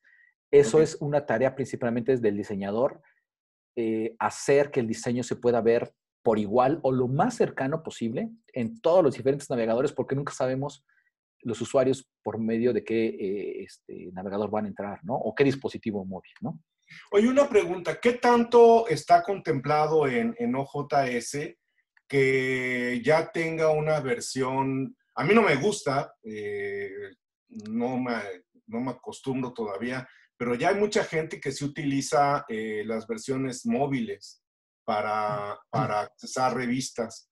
Eh, eh, ¿Qué tan amigable es el OJS en, en sobre todo sus versiones más recientes en una versión móvil? Híjole, este, todo es un tema que se está, que se está trabajando por parte del PKP. Ellos lo, han dicho en, las mejoras que se está, este, eh, que están haciendo. Eh, es un tema sobre el diseño responsivo. es, un término técnico y es en el cual debe adaptarse según la resolución y según el dispositivo desde el cual se está este, trabajando. Por ejemplo, es este, este diseño, que es el llamado por defecto. Voy a, este, a emular.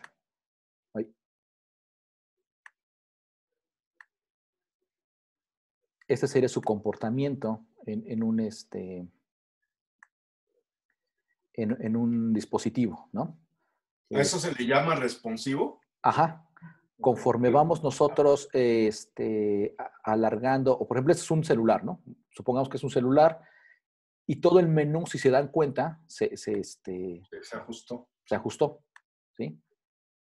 Y, todo se hace de forma vertical, todo, una sola columna, todo vertical, vertical, y es como si estuviéramos pasando, ¿no? El dedo en el scroll de la pantalla, hacia abajo, hacia abajo, hacia abajo, hacia abajo, hacia abajo. Pero tú dirías que todavía no está tan estable esa...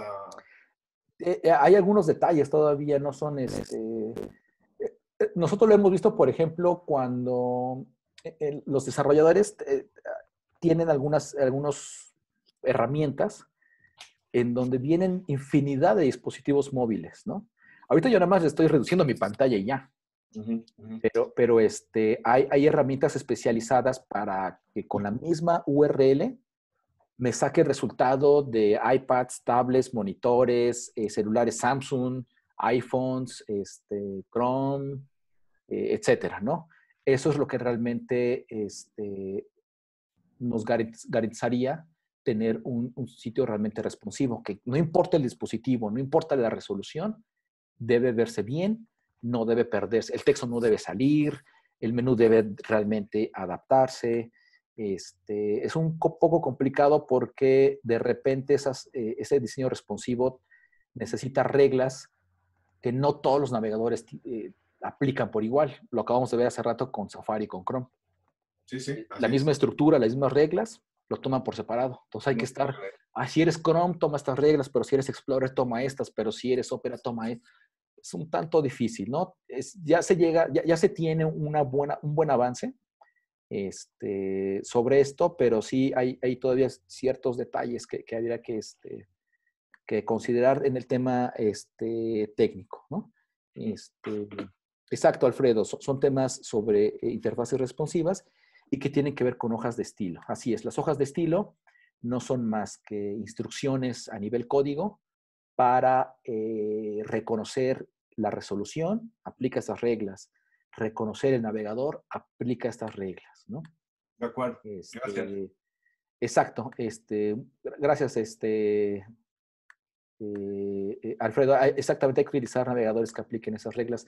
El Explorer es una lata, de veras, siempre es una lata ese Explorer que hace lo que quiere, este, no, no, no trabaja siempre con los estándares. Safari también de repente no sí, sí. cumple Estoy viendo el comentario de Alfredo y estoy de acuerdo, ¿no? Safari, de hecho, muchas veces no, no, no, no pretende ser estándar y no lo es. Y no se diga Explorer, ya este mejor ni hablamos. Sí, ese ya.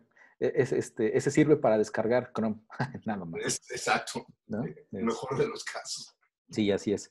Bueno, entonces, eh, regresando un poquito al módulo 3, el tema de, la interfaz.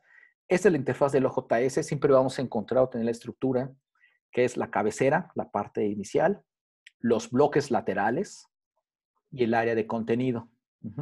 Digamos que son tres partes. el banner superior, los bloques laterales, así se llaman, bloques laterales. De hecho, cuando queremos crear un nuevo bloque, en OJS así se llama, bloque, ¿no? Y es bloque lateral.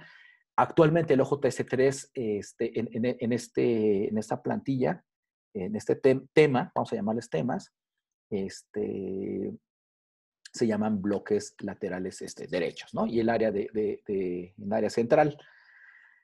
Eh, hay que tener cuidado con la interfaz porque el OJS 3 también ya tiene este, diferentes plantillas o temas, ¿sí? algo que, pasaba en el 2, pero los temas del 2 eran muy, muy este, simples y muy, muy sencillos. Ahora las plantillas del OJS3 son más vistosas, pero eh, no trabajan por igual. Les voy, a, les voy a poner el ejemplo.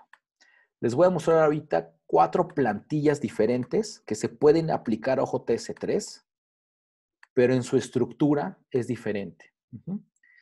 Este es un OJS3 y la plantilla se llama Manuscript. ¿Qué podemos ver? Que hay márgenes en la parte lateral y en la parte superior. ¿sí? Este, sigue manteniendo el banner superior o la cabecera, sigue manteniendo los bloques laterales y sigue manteniendo el área de trabajo.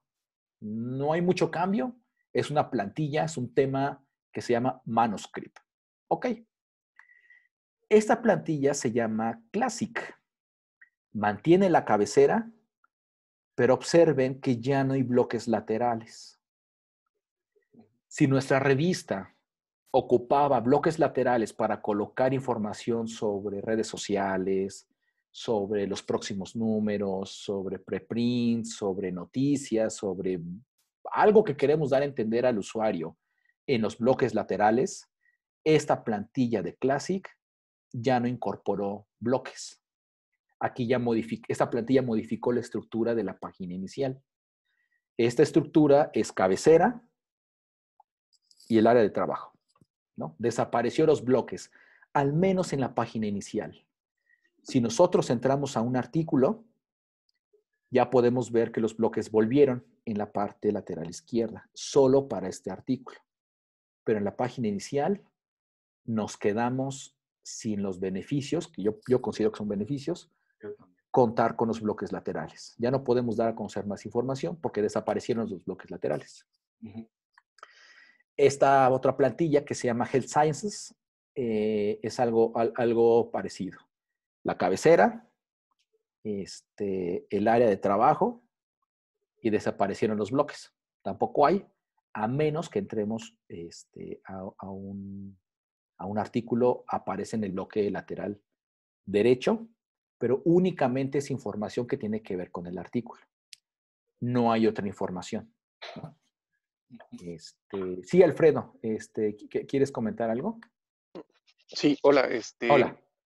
Respecto al tema de las de, de estas plantillas, eh, hay algo, tengo una duda en particular. ¿Utilizan, por ejemplo, Bootstrap para el, para el tema de diseño? Porque entiendo, digamos, que si somos como muy eh, técnicos en ese sentido, podríamos diseñar nuestra propia plantilla. Pero eh, no sé si utilicen alguno de, esto, de estas librerías de diseño responsivo. Digo, me viene ahorita a la mente Bootstrap, que es como la más este, extendida, ¿no? Pero bueno, quisiera saber si, si tenemos ese dato al respecto. Este sí, eh, eh, el Bootstrap para los demás compañeros es una librería este, para el diseño y generación de, sitios web responsivos, que es lo que hablábamos, ¿no? que se puedan adaptar. Eh, esta librería ya trae muchas instrucciones que permiten el diseño, la estructura y la generación de un sitio web responsivo con pocas instrucciones podemos hacer que sea responsivo el, sitio web. Obviamente hay que tener conocimientos técnicos, este, eh, un poco en programación, en HTML, para poder implementarlo, perdón, y hacer uso de él. Eso es Bootstrap. Y sí, ya el OJS3 hace uso de librerías eh, Bootstrap en diferentes versiones según las plantillas para que estos sitios sean, este, sean responsivos, ¿no? Por ejemplo, esta de Health Sciences, también este, utiliza Bootstrap y, y, tiene el mismo efecto que veíamos hace rato, ¿no? Que el, menú se, se, repliega, ¿no? Este, todo lo hace de forma este, eh, vertical. Este, y todas estas plantillas ya traen como, pueden tener una versión mínima de Bootstrap. Este, entonces, este, sí, ya todas las plantillas lo traen, nada más que de plantilla a plantilla es donde hemos detectado que no, no, no, no, están construidas este, de forma correcta para sitios responsivos. Aunque pudiera ser responsivo ahorita en mi pantalla de, de, la laptop, pudiera no verse bien en un dispositivo móvil, un iPhone, por ejemplo. ¿no? trae Bootstrap, trae reglas y trae, pero todavía son esas eh, cosas finas que, que, se deben trabajar para que realmente se pudieran adaptar al 100%. Entonces, aun cuando las plantillas vienen mejoradas, vienen con Bootstrap integrado, vienen con cierta programación, sí nos ha tocado ver que de repente las plantillas no se adaptan o no son responsivas 100%. ¿no? Este, pero este, sí, regresando a, tu pregunta, este, ya, ya traen al menos una versión mínima de, de, Bootstrap, ¿no? Depende de la versión. Hay algunas plantillas que traen Bootstrap 3 y algunas que ya, este, esta, por ejemplo, de Old Greg, que incluso cambiaron ya un poquito la, la plantilla hace unas semanas. Este, me parece que ya trae Bootstrap versión 4. Este, y esta es otra plantilla, esta es eh, Old Greg se llama, eh, tiene la parte de la cabecera, tiene aquí ya un, carrusel este, con los diferentes números, el área de trabajo en columnas, este, muestran categorías, utilizan imágenes, pero tampoco hay, hay bloques, ¿no? Este, y, bueno, entonces, eh, por, nada, Alfredo. Entonces, eh, el tema del diseño, del cual nos habla el, módulo 3, es un poquito la interfaz de usuario final, la interfaz del lector, ¿sí? Ellos llaman la interfaz del lector a lo que vemos como resultado, La página inicial, lo que estamos viendo cuando entramos a un artículo también, esa es la interfaz del, autor, este, y cambia la interfaz de acuerdo a cada plantilla que nosotros estamos este, aplicando. Eh, todo, todo, el, el o más bien todos los videos del curso del OJS siempre utilizan la plantilla que viene este, por defecto, ¿no? Ahora está en color verde, pero realmente es, es color azul, ¿no? Entonces, todos los, verán, todos los videos hablan sobre esta plantilla y este es un poquito lo que vamos a encontrar eh, a partir de la versión, este, la versión 3 que ya incorporan muchas ventajas, por ejemplo, el tema del ORCID, ya se puede ver en el autor. Si tiene un DOI, recordarán en el OJTC2, el DOI lo mandaba hasta lo último de las referencias bibliográficas y pues nadie lo veía, ¿no? Ahora ya el DOI ya lo suben en la parte superior. Este, en fin, ya, ya, ya la interfaz mejoró considerablemente. Este, y con ayuda técnica creo que se puede tener un diseño bastante, bastante atractivo, muy, muy, este, ahora el OJS ya, ya, ya no está pensado nada más en que sea una herramienta para gestión editorial, sino para los lectores, ¿no? Este, PKP en alguna parte en su documentación habla que, por ejemplo, eh, los colores que incluso utiliza en esta parte de adentro, esos azules este, de repente rositas, tienen un porqué y tiene que ver con el contraste de los colores, pensando en la parte de accesibilidad web, pensando en la gente que pudiera tener alguna discapacidad visual, el juego de los contrastes pueda facilitar la lectura y el uso del software. ¿no? Este, entonces, bueno, toda esa interfaz la, pensaron y la cambiaron pensando, eh, pensando también no nada más en, que ahora sea más bonito, sino están pensando ahora en otro sector, por ejemplo, este, aquella gente que tiene alguna discapacidad, ¿no? Este, y, yo y creo que hacia allá deberíamos ir pues ya, este, en algún momento tecnológicamente deberíamos de proveer algo a la interfaz de usuario, a la interfaz web, para que la gente con alguna discapacidad, ah, discapacidad visual, motriz, este, auditiva, pueda eh, leer los contenidos, ¿no? Este, actualmente no hay herramientas. No sé si se acuerdan del OJTC2, tenía un botoncito para aumentar el tamaño de la fuente o reducirla. Eso estaba pensando en accesibilidad web. En el 3 lo, no, lo han publicado todavía, ¿no? Espero que lo vayan a publicar, pero este, eso es un poquito sobre lo que, lo que quería platicarles eh, en el diseño para, para, para, este, este módulo, módulo 3, ¿no? Este, bien, eh, no sé si tengan dudas o comentarios sobre este eh, Oye, Pedro, ¿hay algún repositorio de, de, de plantillas para, que sea más, más eh, versátil, más amplio que, las cuatro que nos has mostrado? Este, no, eh, de momento no. Eh, no. Normalmente hay que estar cazando un poquito y estar leyendo este, si hay una nueva versión, si hay una nueva plantilla, pero nos, lo que nosotros este, sugerimos es, pues siempre referirse a la documentación oficial este, del PKP. Por aquí tengo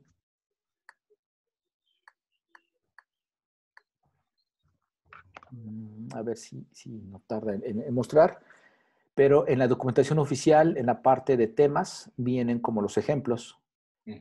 No está actualizado porque este, por ejemplo, de Immersion, creo que ya no estaba disponible y marcaba error. Este, exacto, dice not found, ¿no? Eh, tampoco está actualizado porque no viene Old Greg. Old Greg es la que yo les puse este. hace un rato hace ratito con el de Darth Vader, ¿no? Y okay. Lo que sí pueden hacer es entrar al, demo de OJS 3, irse a Settings, Website, y aquí en, en Them están los disponibles. Entonces, si yo pongo, por ejemplo, Immersion, ¿no? que es la que no estaba eh, hace rato habilitado, le doy Save. Actualizo mi, página inicial del demo y esta es la plantilla. Ok. Y Esto iba a preguntar. Sí. Si yo cambio, por ejemplo, a Health Sciences, doy save, recargo la página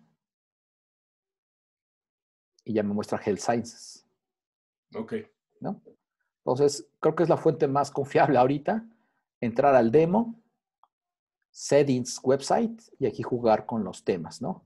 Por cada tema me, me, da posibilidad de poder cambiar algunas cosas. En este ejemplo de Health Sciences, por ejemplo, puedo jugar con los colores pero nada más. Y los colores van enfocados principalmente a, los enlaces, a las, a las, ligas, ya son rojitos, ¿ya vieron? Sí, ok. Este, ¿Qué pasa? Sí, adelante. ¿Qué pasa si yo ya instalé, por ejemplo, en mi caso el OJS y sale un nuevo tema? ¿Cómo lo traigo hacia mi, hacia mi OJS? Normalmente, este, por ejemplo, eh, OJS 3, eh, el Dolgreg otra vez, que es el, ejemplo más, este, más fácil, ¿no?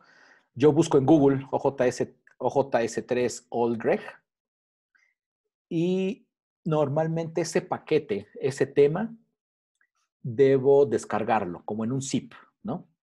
Para descargarlo en un zip, debo encontrar la liga donde se encuentre ese proyecto, ese Old En este caso, como yo ya lo tengo muy, muy, muy identificado, este, lo, único que hice fue colocar JS3 Old Greg. El primer enlace me manda al, proyecto.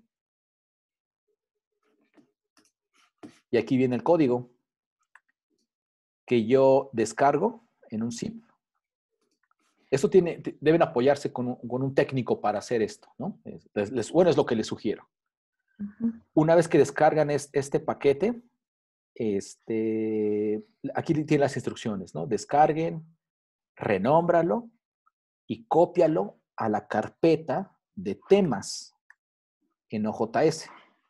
Dentro de OJS, en todo su cuerpo, su arquitectura y su estructura, hay una carpeta que se llama temas, y ahí hay que copiarlo.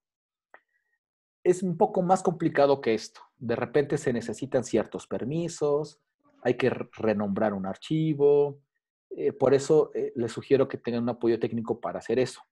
Esta sería la primera, eh, bueno, la primera opción cuando el OJS 3 no trae dentro de su catálogo este, esas, plantillas, ¿no?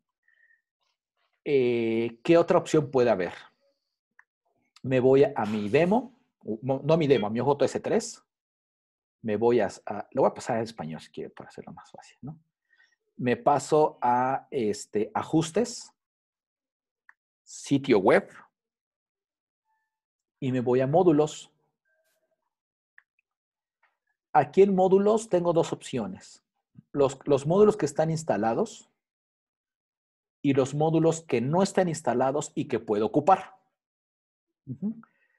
Por ejemplo, aquí en estos módulos está, hay, hay muchos módulos, pero por ejemplo, uh, aquí ya están instalados todos, pero por ejemplo aquí está el de Health Sciences, ¿ya vieron?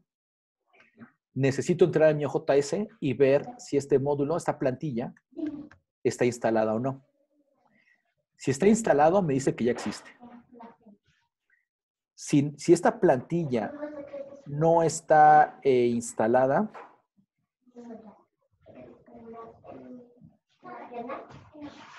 ah, déjenme ver algo por aquí. Quiero mostrarles un módulo que diga que, que debo instalar, pero no, creo que no lo tiene. Tal vez el de el de Google no, es que todos estos ya, eh, ya, me dice que está instalado. Lo que yo quería mostrarles es que en ese OJS, a ver, déjenme, creo que tengo otro por acá, este, JS, puntos. Decir, eh, creo que es este. Bueno, eh, lo que quiero mostrarles es que el OJS 3 también ya tiene algunos, este, Mm. Ajá, ahí está. Paso español. Ajustes, sitio web. Módulos. Galería de módulos. Y aquí, por ejemplo, mm, eh, a ver este de immersion. Ah, aquí está. Este es un tema de immersion. En este OJS3 yo no lo tengo instalado, por lo tanto me dice que, debo instalarlo. Tengo la opción de poderlo instalar. No fui, al, no fui al proyecto, no descargué el zip, porque el OJS3 dentro de su catálogo ya lo tiene, digamos, este, eh, no preinstalado, pero está disponible para que yo lo pueda instalar. Entonces doy clic en instalar. Me pregunta si quiero instalar el módulo y esto aplica para cualquier módulo, no nada más para plantillas, cualquier módulo que ustedes quieran utilizar. Damos a aceptar y si todo sale bien, el JS me dice, muy bien, ya instalaste tu módulo de immersion. Busco immersion ya, ya me lo pasó del catálogo que no estaba instalado y me lo pasó al catálogo de los instalados. Y aquí está Immersion. Lo habilito con esta casillita. Al momento de habilitarlo, en apariencia, en tema, yo ya puedo hacer uso de Immersion. El problema ahorita con este módulo es que la traducción al español está mal, por eso me salen estos caracteres raros. No se entiende muy bien. Pero ya puedo hacer uso de immersion. Doy guardar. Y ahora mi sitio web ya debería tener este, immersion. ya, ya, ya hicimos un poquito eh, el ejemplo que hacíamos con el demo. Dentro de mi catálogo de templates ya tengo Immersion. Esa sería como lo ideal, pero no siempre los temas vienen preinstalados. Eh, ¿Hay una manera de importar módulos? Por ejemplo, si yo descargué el zip y lo puedo importar aquí a OJS. Este, sí. Nos vamos a módulos, módulos instalados, cargar un nuevo módulo. Y aquí es donde me pide el zip.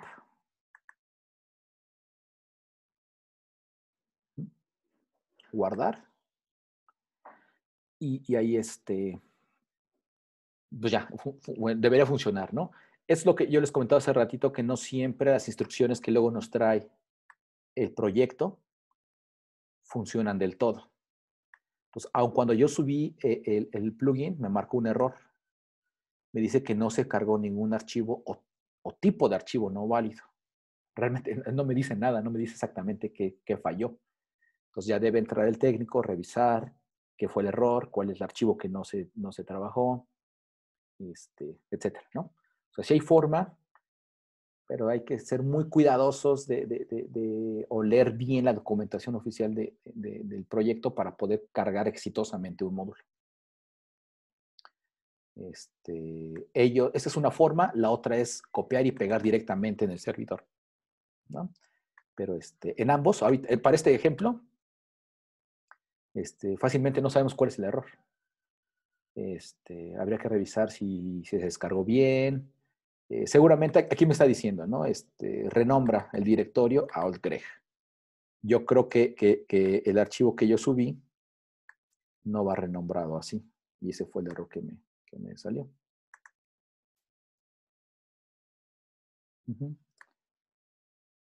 Debe llamarse Olgreg, no Olgreg Master. Esto lo vuelvo a comprimir. E intento de nuevo subirlo. Cambiar fichero. Olgreg. Guardar. No, algo pasa. Este, ya renombré, como según ellos me lo piden, y aún así no funcionó. Pero no me dice más este, el OJS ni tampoco el proyecto. Entonces ya debo averiguar por qué no se subió bien, pero ya, eso ya es un tema más, más técnico.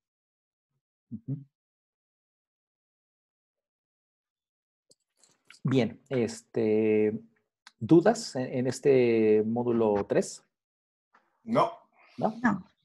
Realmente, este, bueno, pues habría que ver el, tutorial, el, video. No, no habla más que las partes del OJS, las, las ligas, los botones. Pero bueno, creo que pudimos este, abrir un poquito más la plática. Eh, hablamos un poco sobre Bootstrap, la parte técnica, plantillas, este, etcétera, ¿no? Bien. Eh, la actividad es eh, ver el video, consultar este, eh, esta, lectura eh, para, los técnicos, quizá para, para, Alfredo, podría resultar interesante porque aquí nos habla sobre cómo crear nuestra propia plantilla. Sí es un gran esfuerzo, un gran trabajo, pero se puede. Podemos crear una plantilla a la medida con, este, con ayuda seguramente de, un este, programador, ¿no? Esto, bueno, está tardando aquí. Esa es la, la lectura.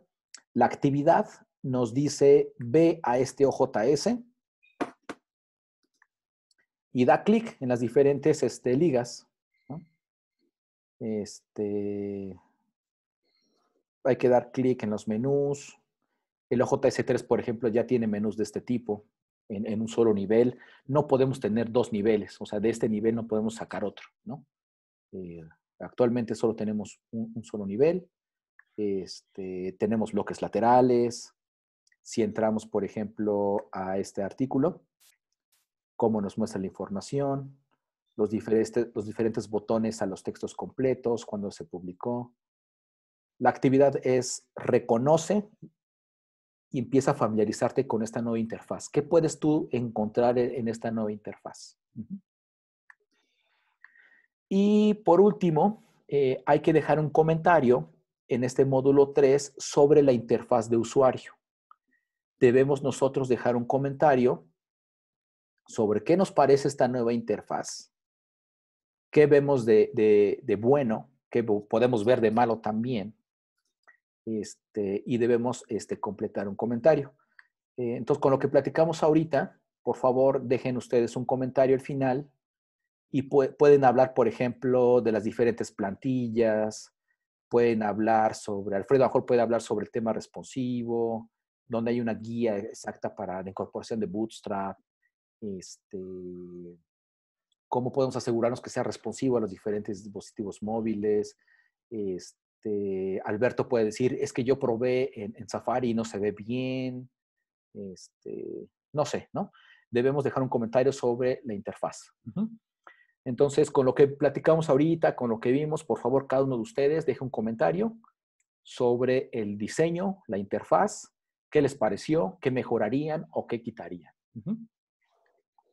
Y este, para concluir la sesión del día de hoy, este, terminemos con eso, ¿sí? Por favor.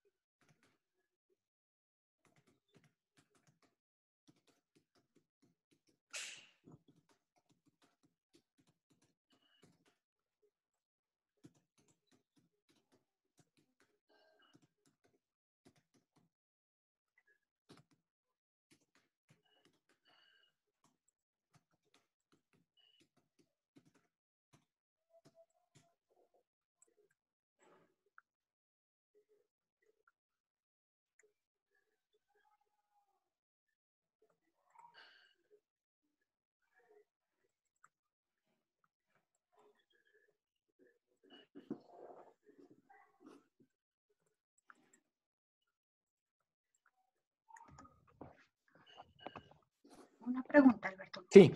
Este, ¿Vamos a ver un poco más de módulos o eso es todo lo que vamos a ver en esta ocasión? Este, sí, sí, vamos a ver módulos en, en este curso. Más adelante, este, quizá como por el módulo 8 o 10, ya, ya se tratan temas de módulos. Ah, eh, veremos módulos, por ejemplo, de Google Analytics. Hay algunos por ahí sobre Authenticate y el plagio. Este, hay un montón de módulos, ¿no? Pero no, nos va a dar tiempo de ver todos, pero sí tratar de explicarles los que consideramos más, este, mm, más provechosos. Quizá, quizá pudiéramos platicar algunos que a lo mejor no se conocen tanto, pero, pero ustedes observan, hay muchos módulos en el OJTS3, pero sí lo veremos más, más adelante. Ok, muchas gracias. Sí. Bien, este...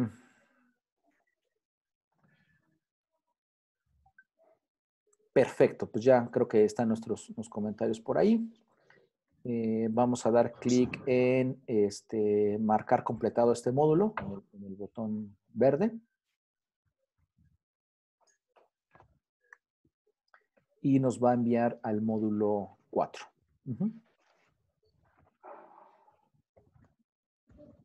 Donde ya hablaría sobre el tema del registro del usuario, este, cómo se simplificó del formulario que tenemos que llenar en el OJTS2, que eran 15 o 20 campos, creo. Este, se simplificó a unos 6 quizá, con lo más este, general. Y al entrar el perfil, pues ya podremos este, completar todo nuestro, el resto de la información, ¿no? Bien, este, vamos a dejar la sesión del día de hoy hasta aquí para no, no dejar trunco el, módulo 4 este, sí les encargamos y como tarea leer los tres, ver los tres videos anteriores, eh, leer algún este, material que hayan sugerido ahí en, en, el, curso. Eh, procuren no adelantarse para que nos vayamos todos en, ritmo. Y, este, y bueno, pues no sé qué les, qué les pareció esta primera sesión. Bien, oye, podemos seguir dejando comentarios, ¿verdad? En los módulos que ya, aunque ya los, los se hayan marcado como completados. Sin ningún problema, pueden incluso, este, con, este usuario y contraseña que ustedes tienen, tienen la posibilidad de poder replicar el comentario de alguien más, ¿no? O sea, comentar el comentario de otro.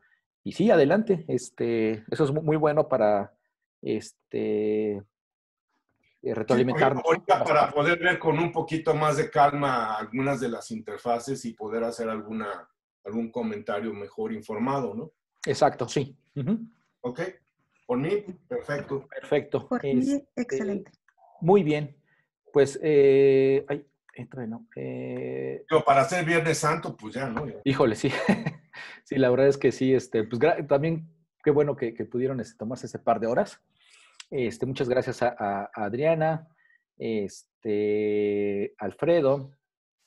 Y Adriana mandó un par de, este, de, preguntas. Es cómo podemos saber la nueva versión. Si la nueva versión ya es estable.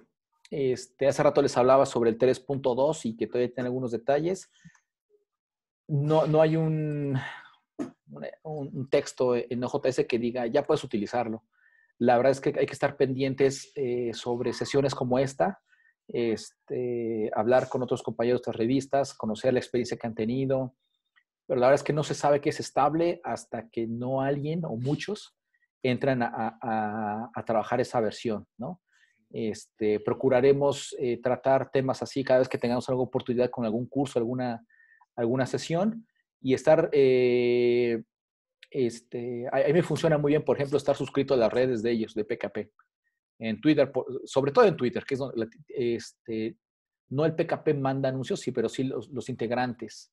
Kevin, Alec, el programador que, lleva todo el proyecto de programación de JS, este, manda constantemente tweets sobre nuevas versiones, sobre este, eh, cosas que tienen que ver con el OJS. Y muy recientemente, pues sí les puedo recomendar que, nos, que sigan ahora este, el foro de, de, de en español, este, que iniciamos hace la semana pasada, no tiene mucho, que empezamos a, tener acceso y cargar materiales. Trataremos ahí de, hablar sobre temas ya más, más con JS, pero totalmente en, en español, ¿no? Entonces, sería la única forma de saber si la versión es estable, siguiendo las redes y, y gente que está trabajando con esas, esas versiones, ¿no? Este, nos pregunta Adriana sobre eh, qué pasa si hay algo ya instalado y no funcionó correctamente, si se puede regresar a una versión previa este, o si se pierde información.